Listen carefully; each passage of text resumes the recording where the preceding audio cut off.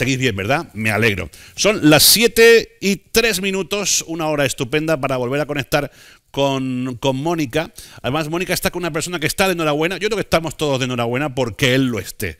Y es que eh, tiene cosas que celebrar y las quiere compartir con nosotros. Por eso hemos ido en su busca. Así que vámonos adelante con Mónica. Mónica, cuéntanos cositas. Pues sí, así es, Alfredo. Tenemos la suerte de tener con nosotros al Premio Nacional, Nacional de Narrativa. Ya es amigo Raúl Quinto. Enhorabuena. Muchas gracias.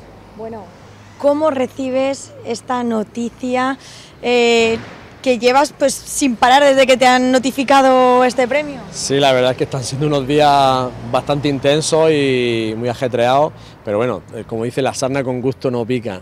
Y fue la verdad es que una gran sorpresa. Yo estaba el, día 11, ¿no? que no teníamos clase, ¿no? había puente aquí en Almería y estaba haciendo unas cosas, unas tareas del hogar, como que el que dice había dado desayuno a los niños, iba a prepararme para ir a comprar al supermercado y recibo una llamada que me da por coger, ¿no? Nada más un número desconocido y resulta que era el ministro de Cultura, ¿no? Para darme, para darme la noticia. Y claro, pues ahí de repente empezó a arderme el cuerpo por dentro, mucha felicidad y, y claro, no termino todavía ni de, ni de entender qué es lo que ha pasado, ni de aterrizar del todo ¿no? en la tierra. Bueno, Martinete del Rey Sombra es la obra que te ha dado este premio y que el jurado ha calificado como brillante. Bueno, yo no puedo más, eh, nada más que estar agradecido ¿no? a un jurado, un premio así, la verdad es que ni me parecía fuera de todo imaginación, ¿no? de toda previsión, no, no me esperaba que el libro fuera a tener este recorrido y lo único que puedo hacer es celebrarlo, la verdad, y alegrarme y, y seguir alucinando un poco. ¿Esperabas toda esta repercusión? No, para nada, es decir, yo llevo más de 20 años publicando libros, tengo mis lectores, he tenido siempre un grupo muy aguerrido, pero muy pequeño de lectores. Yo siempre decía que, que, a mí me leían cuatro gatos, pero eran mis cuatro gatos, era gente que estaba conmigo y muy comprometida, ¿no? casi como eh, si fuera un grupo guerrillero. ¿no? Con, pero con este libro se han dado una serie de circunstancias, una serie de carambolas que ha hecho sobre todo a través del boca a oreja, a través de la labor de muchos libreros. Yo desde aquí quiero reconocer, por ejemplo, la labor de Vicente, del Faro de Recóndito, de Ana Mezcua, de, Picasso, ¿no? que, han recomendado, que han ido, han activado y han, movido mucha, mucha pasión lectora ¿no? en torno al libro. Y luego, pues ya te digo, se han ido dando las circunstancias, me fueron premiando el Cálamo, la librería Cálamo apostó por mí. Yo creo que eso supuso un espaldarazo, ¿no? porque puso el foco a nivel nacional sobre el libro y después me dieron el premio de la crítica, ahora han mandado este, yo ya la verdad es que estoy absolutamente loco ¿no? con el tema. O sea que estás viviendo una trayectoria con este libro increíble.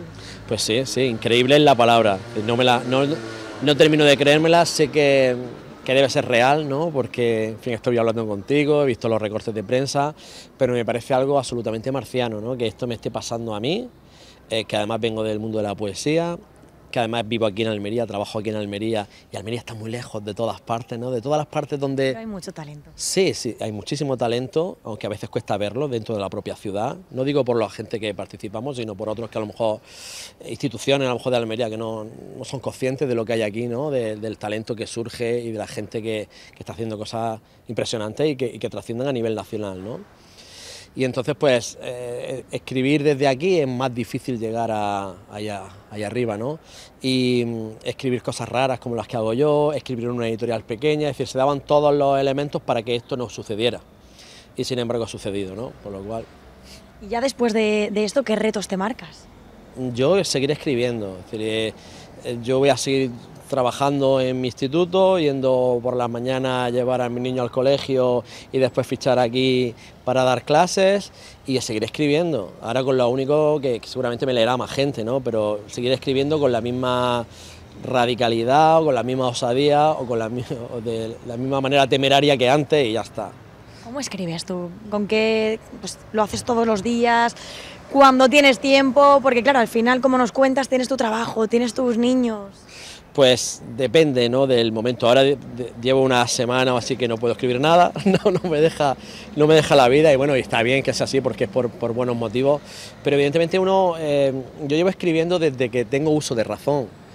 Yo aprendí a escribir con cuatro o cinco años y en cuanto tenía esas herramientas me dedicaba a jugar a la escritura, a hacer pequeñas historias, tenía una máquina de escribir ¿no? y me ponía ahí a hacer ruido y a escribir pequeños cuentos, eh, pequeños poemas y tal no me concibo de otra manera. Entonces es algo como que si yo no estoy escribiendo, no estoy metido en un proyecto, noto como que me falta algo, ¿no? Entonces busco tiempo. Eh, afortunadamente como profesor en verano le suelo dar bastante vida ¿no? a, mis proyectos y ahora he tomado hace un, tiempo la, la, técnica que yo llamo técnica de Juan Magil, que es otro amigo, ¿no? un escritor fabuloso, también muy reconocido a nivel nacional, ¿no? que tenemos aquí en Almería que él dice que, bueno, él se levanta todos los días a las cinco y pico de la mañana y se pone delante del ordenador a escribir. Pues yo he estado por, esa, por ese trabajo también, que al principio parece que cuesta, pero luego es una hora como mágica, ¿no? Para estar, porque estás tú solo en el mundo delante del texto, ¿no? Nadie te molesta, no hay ruido, no hay interferencia y eres tú y tu, y tu libro, ¿no? Y, y la verdad es que es bastante productivo. Eso es pasión por la escritura. Eso es una especie de enfermedad que algunos tenemos que es, eh, pues eso, llámala pasión, llámala que no sé vivir de otra manera, la verdad. Pues muchísimas gracias Raúl y enhorabuena de nuevo. Muchas gracias a vosotros. Alfredo, pues qué maravilla, lo decimos siempre, poder tener este talento en Almería, tener la oportunidad de hablar con ellos. Y nada, nosotros enseguida volvemos a hablar porque tenemos una agenda cultural muy eh, amplia esta semana y tenemos que contarla ahora. Pues vente para acá, vente para acá que te espero aquí. Rápido, Mónica, vente, que te necesito como, eh, como Rupert y tal. Bueno, em, vamos al lío, vamos al lío. Es lunes, eh, habrá que meter ficha, digo yo. Y fíjate si llevo, Alberto, buenas tardes. Muy buenas, ¿cómo estamos? Llevo tiempo bromeando con eh, cuando estábamos aquí con el 1, 2, 3 y tal, y ayer murió Mayra Gómez Ken. Pobrecilla. Me dio, me dio pena, ¿eh? Porque para muchos de nosotros que los viernes se paralizaba el país para, con el 1, 2, para ver el 1, 2, 3, pues tú que eso no lo has conocido. No. Pero claro. He oído mucho de hablar claro, de pero eso, es que sí. tú imagínate que antes solamente había un canal. Bueno, un canal y medio. La primera y la segunda. Y los viernes tocaba un 2, 3. Entonces tocaba todo el mundo sentarse delante del televisor a ver, a ver un 2, 3 y, y, ver a Mayra. Así que ayer fue un día triste para la tele. De la vida. Bueno, tú dirás. Pues vamos a hablar de, de cosillas. Sabías que este fin de semana, en el mundo lúdico, Sí. era una fecha señalada. No se habrán comido flamenquines allí. Buah, salmorejos. Salmorejos y flamenquines. Qué barbaridad. Y bueno, pues vamos a hablar un poco de eso. Es verdad que antes de hablar del Festival Internacional de Córdoba quería hacer un pequeño inciso, porque también este fin de semana Almería, bueno, elegido en este caso, ha tenido su pequeña eh, dosis de, de, evento, de festival, que ha sido el Festicomic, ¿vale? en, en, elegido, que ya lleva unos cuantos años Y mira, mira, celebrándose. Mira, bien. Qué portadón ahí, ¿no? Y bueno, pues es verdad que dentro de pues, todas las opciones que tienen de cómic, videojuegos, eh, también está el juego de mesa. Sí. Entonces, bueno, pues ahí estuve yo por ahí. Dándolo todo, eh, dándolo dándolo todo. todo, demostrando juegos, enseñando. La verdad es que un montón de gente eh, con muchas ganas de, de aprender. eh, además, público de todo tipo, lo cual es maravilloso. Y mira, la magia de tu programa Sí. se llevó un poquito ahí al evento. Perdona, la magia de nuestro programa. Ah, bueno, bueno, bueno. No, bueno, del- porque, fíjate, eh, allí estuvimos eh, juego de mesa y videojuego de la mano, Sí. en la misma zona, y ahí ¡Ey, estábamos. eh, ahí echamos una tarde más buena. Escucha, qué eh, foto. Pues sin parar, la verdad, todo el día. Cada Qué- uno con su tema. Qué bueno. Unos con sus consolas, otros con sus tableros. Pero bueno, ahí estuvimos dando Mira qué, fe- todo. qué felices se os ve. Y pues ahí estamos cansadetes, ¿eh? ahí estamos cansadetes. Pero verá que como hay, cuando hay buen rollo. Sí, sí, sí, sí. Pues oye. Oye, que me gustan estas sinergias, estas, Sí, sí, sí. Ahí, ahí echamos un, un ratito, un ratito muy apañado, Qué bien. haciendo jugar eh, tanto de manera digital como, de, como con los tableros. También digital, porque tienes que moverlo con el dedo. Bueno, bien visto, bien ¿No? visto, bien visto. Claro. Y dicho esto, pues ahora sí nos vamos a ir a Córdoba. A Córdoba. Que ha sido el festival. Eh, es verdad que se esperaba un poco eh, con el tema de las lluvias y tal. Se la lluvia, que, ¿eh? bueno, que el festival, bueno, se quedase un poco deslucido. No ha sido tan terrible como se Porque quizás se esperaba que lloviera más de esperaba. lo que ha llovido, ¿no? Ha llovido Por lo mucho. menos aquí. Pero bueno, eh, creo que como siempre, lo hago todos los años, eh, hay que felicitar a la asociación Jugamos Todos por, bueno, por todo el trabajo que requiere, por todo el esfuerzo, toda la dedicación y además siempre que vienen pues, bueno, contratiempos como por el tema de la lluvia o cualquier historia así, eso al final se traduce en más trabajo, más imprevistos y más nervios. Al final han sacado un festival para adelante, así que desde aquí eh, hay que felicitarles. Pero lo bueno de este festival es que la gente no ha parado de jugar y también se han dado muchos premios. Mira, aquí tenemos el Mira el cartel. cartelico más bonito. Un cartel muy chulo. Eh, es el cartel de este año. Además que todos los años la verdad es que hacen un cartel nuevo con una ilustración que suele ser una maravilla. bonito, bonito. Una maravilla. Y bueno, allí se dan eh, varios premios, que son los que a mí me gustaría eh, comentar hoy. Claro, claro. Eh, vamos a empezar por el Primero. JDA, JDA. Juego del Año. A ver. eh, Aquí lo tenemos. El juego, Juego del, del año, año. ha sido Five Minutes Dungeon. Oh. Una mazmorra en 5 minutos. Es un juego de Asmodee. Eh, te voy a confesar que no lo he jugado. ¿Por qué no? No lo he jugado. No tengo tiempo. No, no, pues no me da la vida, ya tampoco para tanto, pero bueno, es ahora mismo pues, el mejor juego eh, de este año. Es un juego, sí, me consta que es eh, muy cortito y que es en tiempo real. Se juega todos a la vez. Todos a la vez. ¿Vale? Así que Tonto- tengo. último. Sí, un poco sí. Así que tengo pendiente probarlo, pero bueno, si ha ganado el JDA, ya os digo que va a ser una buena, una buena Sí, señor. Eh, de la mano de este JDA hay un premio que ya lleva también varios años dándose, que es el mejor juego a la autoría española. Ajá. ¿Vale? Cuando hablamos de JDA, hablamos de un juego editado en España, pero no tiene por qué ser. eh, No tiene por qué ser español 100%. ¿Vale? Originalmente eh, puede ser de cualquier parte del mundo. Pero aquí sí tenemos un juego hecho ¿vale? y diseñado por. 100% español. Exacto, de autoría española. Que es eh, White Castle. ¿Cómo, cómo es? White, el Castillo Blanco. Ah, White Castle. White Castle. White Castle. Em, de Israel Sheila, ¿vale? Una pareja que además eh, son conocidos dentro de la industria como los Yamadais. Y mm, bueno, White Castle, la verdad es que mm, ha llevado el juego español a- por toda Europa. Sí. De hecho, bueno, esta pareja, digamos, casi que un día a ver si lo- los convenzo para venir al que venga, que venga, que venga. Porque es verdad que hacen un tipo de juego últimamente, en los últimos años, que no es lo que solemos, digamos, tratar aquí. Son juegos un poquito más complejos, pero están dejando el pabellón del diseño de juegos español muy alto. Están haciendo un trabajazo. Así que enhorabuena a ellos por, bueno, pues por, por este reconocimiento, porque la verdad es que llevan ya mm, muchos años.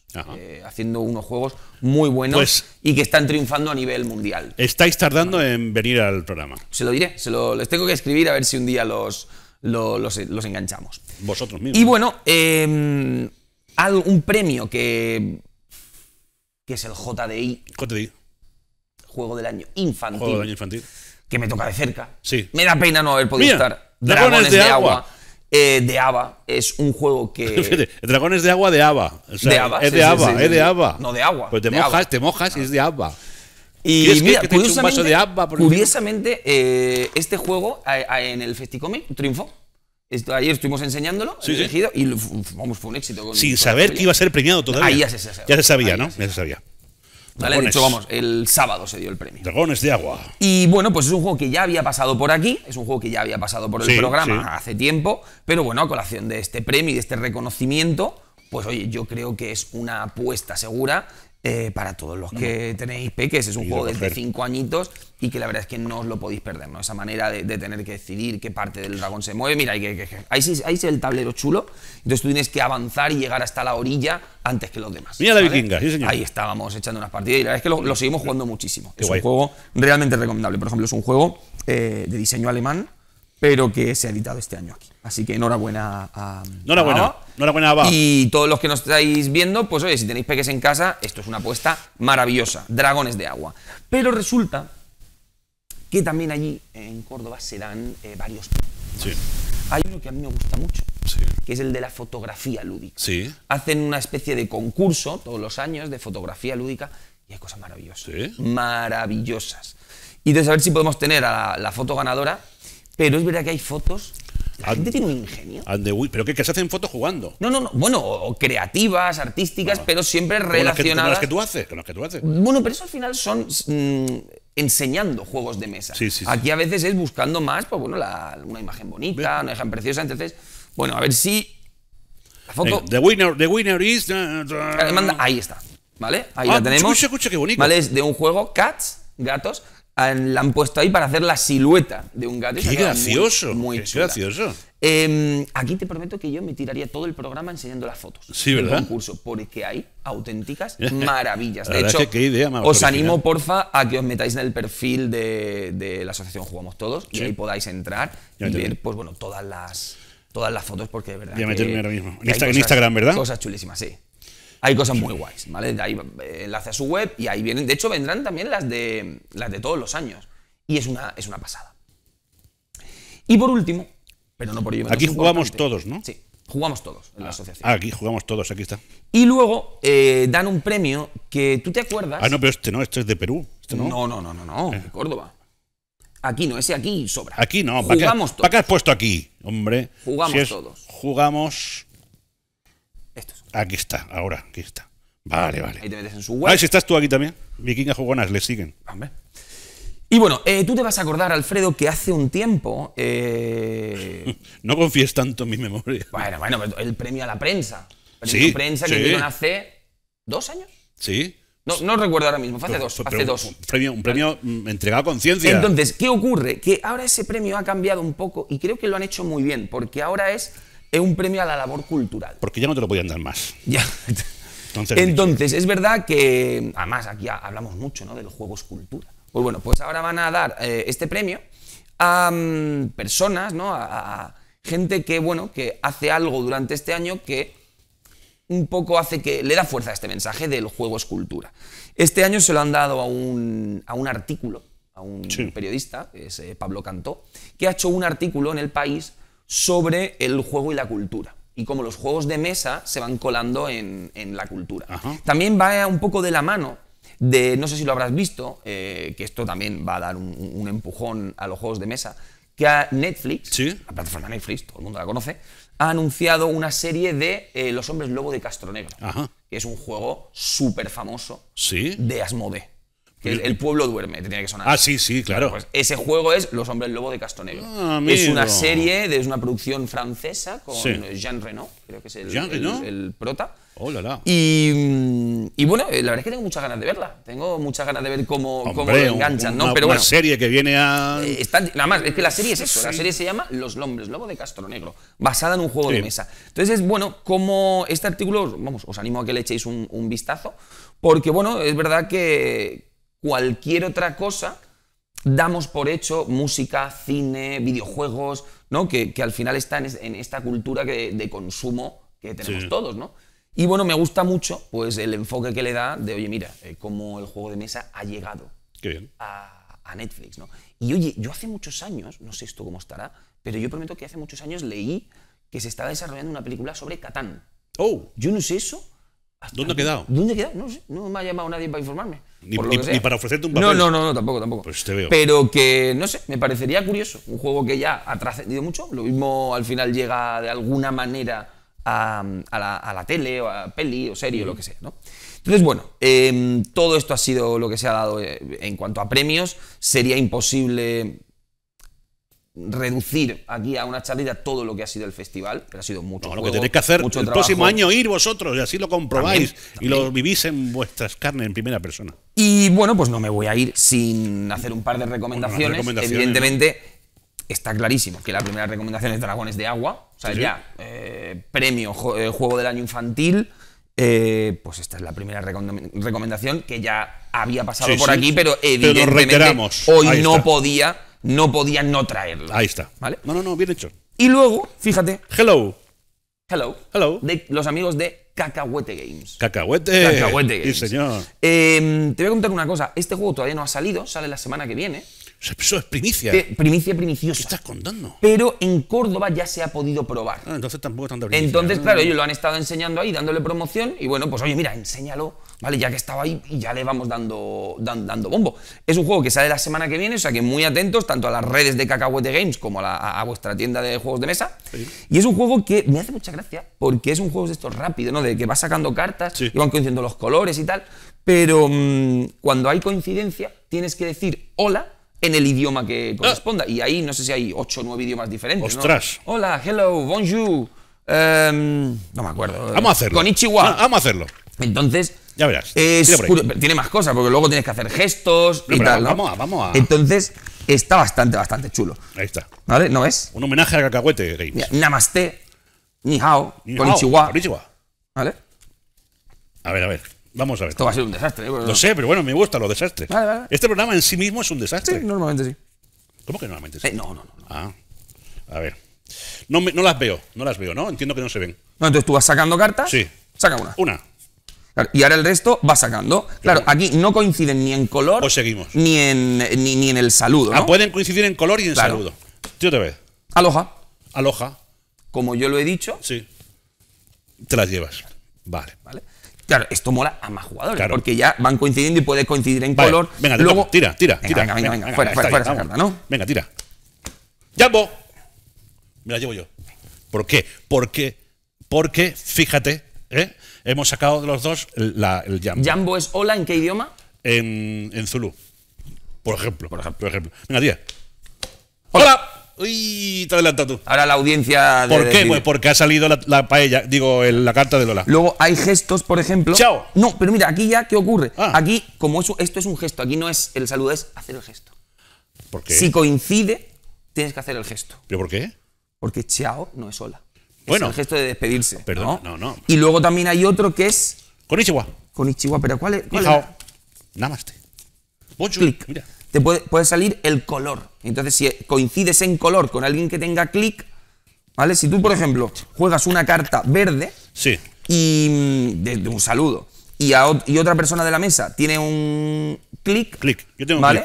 Mira, pues mira, Yo tengo un clic. tú tienes un clic azul y tengo un namaste. Sí. Como es del mismo color, tú tienes que decir namaste y yo tengo que decir hacer el gesto de la foto. Ah, amigo. Con lo cual ya se va complicando. Oye, qué chulo está. Pero es que luego también hay unas cartas de aeropuerto y de, mm, y de estación de tren. Entonces, si te salen, es el último que ponga la mano ahí. Entonces, claro, al final es un qué jaleo. locura. Me gusta. Estos juegos locos me gustan. a Sí, mí. sí, sí, son juegos frenéticos. Me ponen. Y entonces me hace mucha gracia, ¿no? Lo de mm, intentar de- aprender a decir hola en muchos idiomas. Claro. ¿no? Porque de nuevo al final es un reflejo del juego cultura. Mejor escultura. Alberto, muchísimas gracias. Desafío para la gente que nos está viendo. ver, ¿cuál? Jambo es hola en qué idioma. Venga. Tenéis tarea. Tenéis en las y- redes, en Instagram, nos decís, por cierto, hacedme el favor de seguir a esta criatura en, en- en Instagram. Jugonas. Vikingas jugonas. Vikingas jugonas. Vikingas jugonas y estáis al tanto de todo lo que ocurre en el programa y fuera de él. Es que, es que, que, que lo tengo que decir todo.